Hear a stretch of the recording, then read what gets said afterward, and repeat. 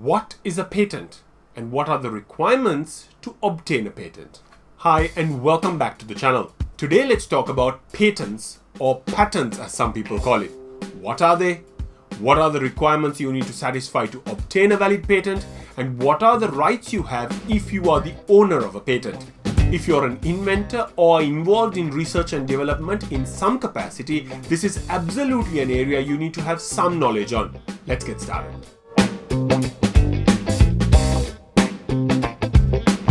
Start with the basics.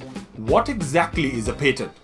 A patent is basically a legal document granted by the government to an inventor of an invention, giving him the exclusive right to make, use, and sell his invention for a limited period of time. It's essentially a contract between the inventor and the government, granting them a monopoly over their invention in exchange for disclosing their creation to the public. Patents cover a wide range of inventions, including new technological developments, new manufacturing processes, pharmaceuticals, etc.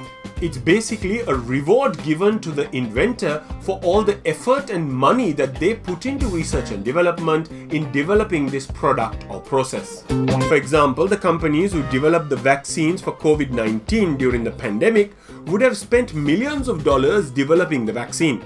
So, when they finally succeeded, the government provides the inventors a reward by giving them a monopoly to manufacture and market that product for a limited period of time. Now that you understand what a patent is, let's talk about the requirements that need to be satisfied in order for you to be granted a patent. Usually, there are three main requirements that need to be satisfied in order for you to be granted a valid patent. These are novelty, inventive step, and industrial application. The first requirement for a valid patent is novelty. In other words, your invention must be new.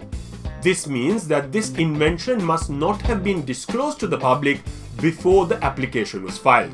Even if you're the first person to invent something, but somebody else publishes that invention before you file your application, then your patent application might be rejected.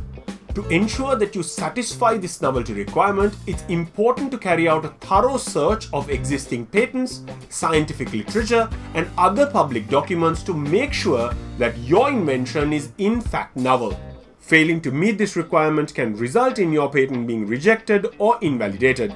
This is probably a good point to talk a little bit about the importance of keeping your invention confidential during the inventive process if you have to get a third party involved in the development phase, you should probably get a non disclosure agreement or a NDA signed. Say, for example, you need to create a prototype for your invention and you need to retain an outside party to make this prototype. You should probably sign an NDA before you give them access to the invention. If you don't do this and the third party discloses this invention to the public before you file your patent application, your application will be rejected. The second requirement is inventive step or non-obviousness. This means that your invention, in addition to being novel, must not be obvious to a person skilled in the relevant field. In other words, it must involve an inventive step and must not be something like combining two existing technologies which might be obvious to a person skilled in the art. Going back to the example of the COVID 19 vaccines, if all the inventors did was use existing technologies in a slightly different way, which was obvious to people skilled in the art, then they will not be patentable because they lack an inventive step. In a case that I was involved in, a patent was granted to the use of twin spark plugs on a small combustion engine. Now, using two spark plugs is very common in large combustion engines but had never been done in small combustion engines. So the patent was challenged on the basis that using two spark plugs in a small engine, although never done to this point, was obvious to a person skilled in the art. In this case, although the patent was new because combining of these two technologies had not been done before, it was challenged on the basis that there was no inventive step. Not having an inventive step could result in your patent application being rejected. Finally, we have industrial application or utility. This requirement simply means that your invention must have a practical use or utility. In other words, it must have a useful purpose and must be capable of being used and operated in industries. While the utility requirement is generally easy to satisfy for most inventions, it's important to provide sufficient evidence or documentation to demonstrate the practical usefulness of your invention. Without clear utility, your patent application could be rejected. So if you satisfy these three requirements, you are entitled to have your patent registered. The application for a patent must be filed at the Patent Office or the Intellectual Property Office of that relevant country. Your patent application must contain a detailed description of how your invention works, including any drawings or diagrams necessary to illustrate its operation. One of the most important things that need to be submitted is the claims of your patent which is effectively the exact novel aspects for which you are seeking a patent.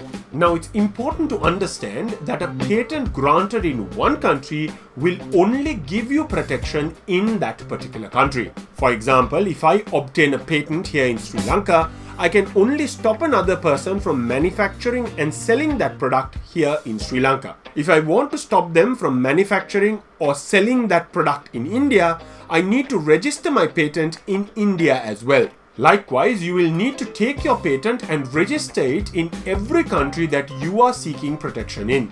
Now, let's say you've been granted a patent. What are the rights that you have as a patent holder? A patent holder is granted several rights protecting their invention, granting them the exclusive right to exploit their invention. These rights typically include the exclusive right to make, use, sell, or import the patented invention for a limited period, which is generally 20 years from the filing date of the patent application. Which means that during this period, the patent holder can decide how the commercialization and exploitation of the invention is to happen. The flip side of this is that during the term of the patent, Others are prohibited from making, using, selling, or importing the patented invention without the patent holder's permission. The patent holder also has the right to enforce their patent against anyone who infringes upon it through legal means such as litigation. Further, the patent holder can license their patent rights to others, allowing them to use the invention in exchange for royalties or other compensation. The patent holder can also sell or assign or transfer their patent to another person just like any other form of property. In summary, obtaining a valid patent requires you to satisfy several requirements including novelty, inventive step, and industrial application. By understanding and satisfying these requirements, you can ensure that you protect your intellectual property and ensure that it gets the valid legal recognition that it deserves and ensure that you can commercially exploit your invention. Anyway, that's all for today. If you did like this episode, do consider liking the video and subscribing to the channel for more videos like this. I'll see you in another episode. Take care. Bye.